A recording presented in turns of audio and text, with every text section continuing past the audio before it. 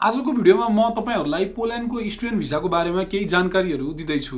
यस भिडियोमा चाहिँ हामी पोल्यान्ड जानको लागि के कस्ता डकुमेन्टहरू चाहिन्छ पोल्यान्ड गइसकेपछि त्यहाँको कमाई खर्च के कस्तो छ पढाइ सकिसकेपछि के अवस्था छ डिपेन्डेन्ट भिजा लान मिल्छ कि मिल्दैन र पर्मानेन्ट रेजिडेन्सीको लागि के कस्तो रुलहरू छ भनेर छलफल गर्नेछौँ। र यो भिडियो अन्तसम्म हेर्नुहोला र के कस्तो लाग्छ मलाई कमेन्टमा प्रतिक्रिया दिनुहोला। नमस्कार सबैजनालाई। नमस्ते। नमस्कार। नमस्ते। नर्वे र र यो भिसा अप्लाई गर्नको लागि प्रक्रिया के छ त? नमस्ते मेरो नाम सुरेन्द्र थपलिया यस विदेशमा नेपाली युट्युब च्यानलमा तपाईँलाई स्वागत छ। यदि तपाईँ यो च्यानल पहिलोचोटि हेर्दै हुनुहुन्छ भने यस च्यानलमा चाहिँ मैले विभिन्न देशको स्टुडेन्ट भिजा र वर्क भिजाको बारेमा भिडियोहरू बनाउँदै आइरहेको छु।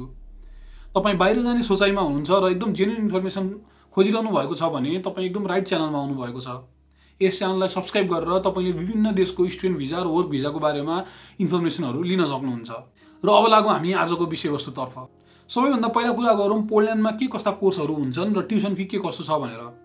पोल्यान्डमा चाहिँ वर्षको दुईवटा इन्टेक हुन्छ। एउटा अक्टोबर इन्टेक र अर्को फेब्रुअरी इन्टेक। अक्टोबर इन्टेकको लागि एप्रिलदेखि नै एप्लिकेसन प्रोसेस सुरु हुन्छ। र फेब्रुअरी इन्टेकको लागि चाहिँ नोभेम्बरबाट एप्लिकेसन प्रोसेस सुरु हुन्छ। त्यसै गरी पोल्यान्डमा तपाईँ ब्याचलर मास्टर्स र पिएचडी तिनै एउटा लेभलमा पढ्न आउन सक्नुहुन्छ। र पोल्यान्डको एउटा राम्रो पक्ष भनेको ब्याचलरमा तपाईँले इङ्ग्लिसमा पढाइ हुने धेरै विषयहरू पाउनुहुन्छ compare to other European countries. किनकि अरू युरोपियन कन्ट्रिजहरूमा तपाईँले ब्याचलरमा इङ्ग्लिसमा पढाइ हुने विषय पाउन एकदमै गाह्रो छ। पोल्यान्डमा चाहिँ तपाईँ ब्याचलरमा सिभिल इन्जिनियरिङ बिजनेस म्यानेजमेन्ट त्यसै गरी एरोस्पेस इन्जिनियरिङ विभिन्न विषयहरू पढ्न आउन सक्नुहुन्छ। र यी सबै कुराहरू जान्न चाहनुहुन्छ जस्तो ब्याचलरमा के के विषय छन् मास्टर्समा के के छन् पिएचडीमा के के छन् भनेर बुझ्न चाहनुहुन्छ भने तपाईँ स्टडी इन पोल्यान्ड डट पिएलमा गएर सम्पूर्ण जानकारी लिन सक्नुहुन्छ। र पोल्यान्डको युनिभर्सिटीको ऱ्याङ्किङहरू पनि वर्ल्ड ऱ्याङ्किङमा एकदमै अगाडि आउने युनिभर्सिटीहरू पनि छन्। जस्तो ज्यागिलोनियन युनिभर्सिटी भनेको पोल्यान्डको one of the best university हो र यो चाहिँ वर्ल्ड ऱ्याङ्किङमा पनि अराउन्ड थ्री हन्ड्रेडमा छ। त्यसै गरी युनिभर्सिटी अफ वार्सा भनेको पोल्यान्डको अर्को एउटा राम्रो युनिभर्सिटी हो। यो पनि वर्ल्ड ऱ्याङ्किङमा एकदमै अगाडि छ। र अब कुरा गरौँ ट्युसन फीको। पोल्यान्डमा चाहिँ पोलिस सिटिजन र यु सिटिजनको लागि कुनै पनि ट्युसन फी लाग्दैन। तर त्योभन्दा बाहिरका स्टुडेन्टहरूले चाहिँ पोल्यान्डमा ट्युसन फी तिर्नुपर्ने हुन्छ। यो ट्युसन फी चाहिँ अरू युरोपियन कन्ट्रीको कम्पेयरमा एकदमै सस्तो छ। तपाईँको विषय र लेभल हेरी हेरी करिब दुई हजारदेखि छ हजार युरो प्रति वर्ष ट्युसन फी छ पोल्यान्डमा। र यसका साथसाथै कतिपय युनिभर्सिटीमा चाहिँ तपाईँले एप्लिकेसन फी पनि तिर्नुपर्ने हुन्छ अराउन्ड एक सय पचासदेखि दुई सय युरो। र पोल्यान्डमा ट्युसन फी के कस्तो छ भनेर म केही उदाहरणहरू दिँदैछु तपाईँलाई। जस्तो तपाईँ वार्सा युनिभर्सिटी अफ टेक्नोलोजीमा ब्याचलर इन सिभिल इन्जिनियरिङ गर्न चाहनुहुन्छ भने तपाईँले प्रति सेमेस्टर दुई हजार युरो तिर्नुपर्ने हुन्छ।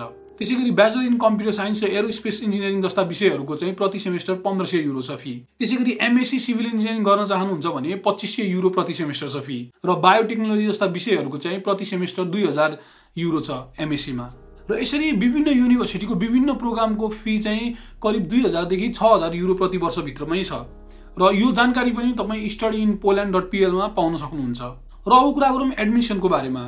पोल्यान्डमा चाहिँ अरू युरोपियन कन्ट्री हेरी एडमिसन रिक्वायरमेन्ट चाहिँ त्यति स्ट्रिक्ट देखिँदैन। त्यसै गरी इङ्ग्लिस रिक्वायरमेन्टमा पनि पोल्यान्ड अलिक फ्लेक्जिबल छ। तपाईँलाई विभिन्न पाँच छवटा अप्सनहरू छ त्यो मध्ये तपाईँले एउटा मात्र फुलफिल गरे पनि हुन्छ। त्यो मध्येको एउटा भनेको तपाईँले आइएलटिएस स्कोर प्रेजेन्ट गर्न सक्नुहुन्छ। र अर्को भनेको तपाईँले युनिभर्सिटीमा यदि ब्याचलर अथवा मास्टर्स इङ्ग्लिसमा पढेको हो भनेर लेटर बनाउनु हो भने त्यो अवस्थामा तपाईँले आइएलटिएस नदिकन पनि पोल्यान्ड जान सक्नुहुन्छ।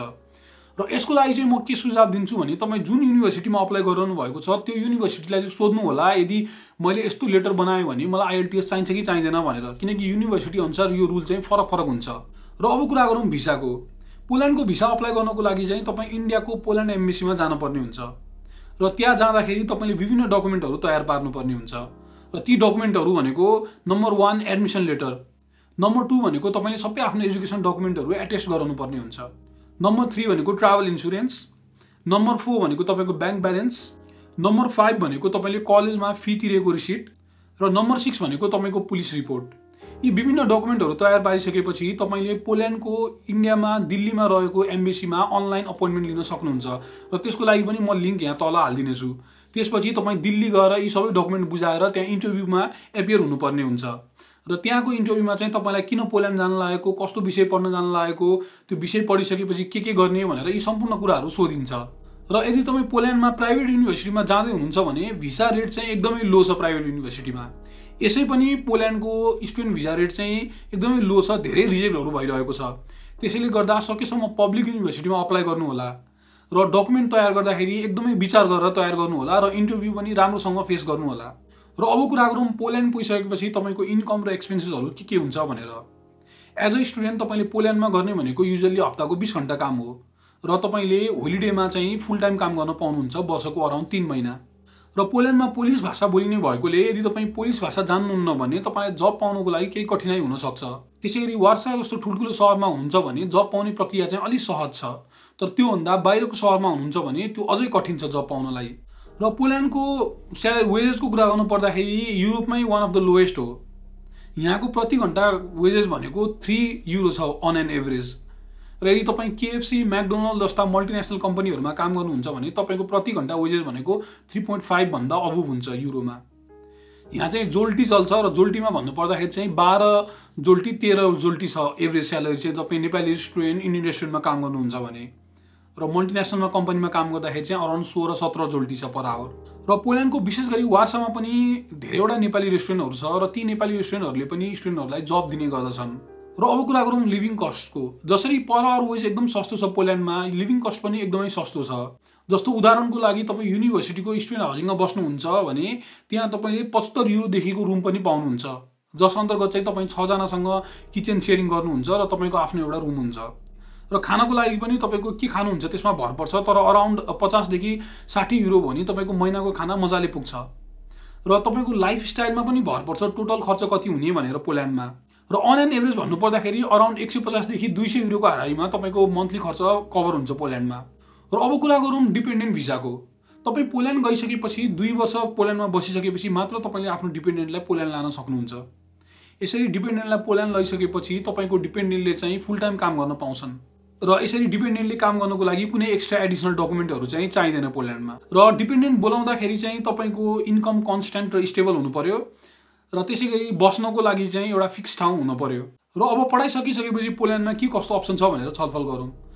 पढाइसकिसकेपछि तपाईँले एक वर्षको जब सिकिङ भिजा भनेर पाउनुहुन्छ र यसपछि तपाईँ पोल्यान्डमा बस्न चाहनुहुन्छ भने तपाईँ वर्क पर्मिट लिएर पोल्यान्डमा फेरि बस्न सक्नुहुन्छ। र यसरी तपाईँ पाँच वर्ष पोल्यान्डमा बसिसकेपछि तपाईँले पर्मानेन्ट रेजिडेन्सी अप्लाई गर्न पाउनुहुन्छ। र यसरी यो पाँच वर्षको पिरियडमा चाहिँ तपाईँको एज अ स्टुडेन्ट स्ट्याटसमा रहँदाखेरिको पिरियड चाहिँ हाफ मात्र काउन्ट हुन्छ। जस्तो तपाईँ पोल्यान्डमा गएर मास्टर्स गरिरहनु भएको छ दुई वर्षको भने त्यो पिरियड चाहिँ एक वर्ष काउन्ट हुन्छ र त्यसपछि चार वर्ष बसिसकेपछि तपाईँले पोल्यान्डको पिआर अप्लाई गर्न सक्नुहुन्छ। र पिआर अप्लाई गर्नको लागि तपाईँसँग बी वान लेभलको पोलिस ल्याङ्ग्वेज हुनुपर्छ। त्यसै गरी तपाईँसँग स्टेबल इन्कम हुनुपर्छ। र यहाँनिर अर्को एउटा कुरा जोड्न मन लाग्यो भनेको तपाईँले पोल्यान्डको टेम्पोरेरी रेजिडेन्ट कार्ड र पर्मानेन्ट रेजिडेन्ट कार्ड भएर युरोपको अरू देशमा गएर सजिलै काम गर्न पाउनुहुन्न। तपाईँ अरू देशमा जान पाउनुहुन्छ भिजिटमा जान पाउनुहुन्छ गएर केही दुई तिन महिना बस्न सक्नुहुन्छ तर त्यहाँ गएर तपाईँले काम गर्न पाउनुहुन्न। विशेष गरी त टेम्पोरेरी रेजिडेन्ट कार्डमा त यो झन् सम्भवै छैन। तर तपाईँसँग पर्मानेन्ट रेजिडेन्ट कार्ड छ भने तपाईँ अरू देशमा गएर अलि लामो समय बस्न पाउनुहुन्छ र त्यहाँ तपाईँले कन्ट्याक्ट बनाएर त्यहाँबाट सबै जब अफरहरू लिएर त्यसपछि त्यहाँको वर्क पर्मिटलाई प्रोसेस गरिसकेपछि बल्ल काम गर्न पाउनुहुन्छ। त्यसैले नेपालबाट आउँदै हुनुहुन्छ भने पोल्यान्ड जान्छु पोल्यान्डमा जाने बित्तिकै टेम्पोरेरी कार्ड अथवा पर्मानेन्ट रेजिडेन्सी लिने बित्तिकै अरू देश गएर काम गर्छु भन्ने सोचमा हुनुहुन्छ भने यो सजिलो छैन। त्यसैले यो प्लान चाहिँ गरेर नआउनु होला र अन्तमा भन्नुपर्दाखेरि यदि तपाईँ राम्रो डिग्री लिन चाहनुहुन्छ राम्रो युनिभर्सिटीमा पढ्न चाहनुहुन्छ भने पोल्यान्ड एउटा राम्रो गन्तव्य हुनसक्छ। तर बाहिर गएर पैसा कमाएर नेपालमा पैसा पठाउँछु भन्ने सोचले जाँदै हुनुहुन्छ भने पोल्यान्ड चाहिँ तपाईँहरूको लागि त्यति राम्रो गन्तव्य होइन। मैले भनिहालेँ यहाँको पर आवर वेज एकदमै कम छ र त्यसमाथि पनि तपाईँले ट्युसन फी तिर्नुपर्ने हुन्छ। र तपाईँ राम्रो डिग्री लिन चाहनुहुन्छ भने पोल्यान्डमा चाहिँ एकदमै हाइली ऱ्याङ्क युनिभर्सिटीहरू पनि छन्। त्यसै गरी पोल्यान्डको डिग्री एकदम सस्तो छ जस्तो aerospace engineering even BE civil engineering यस्ता विषयहरू नेपालमा भन्दा पनि पोल्यान्डमा पढ्न सस्तो छ। र त्यसैले तपाईँ आफू कुन इन्टेन्सन लिएर आउँदै हुनुहुन्छ त्यो चाहिँ एकदमै ध्यान दिएर मात्र पोल्यान्डको लागि अप्लाई गर्नु होला र यति भन्दै आजको भिडियो म यहीँ टुङ्ग्याउँछु। यति साथ दिनुभयो त्यसको लागि धेरै धेरै धन्यवाद। आगामी हप्ता म अर्को नयाँ विषयमा भिडियो लिएर आउनेछु र यो च्यानललाई सब्सक्राइब गरिदिनु होला भन्दै म आजको भिडियोबाट बिदा हुन्छु। धन्यवाद। नमस्ते।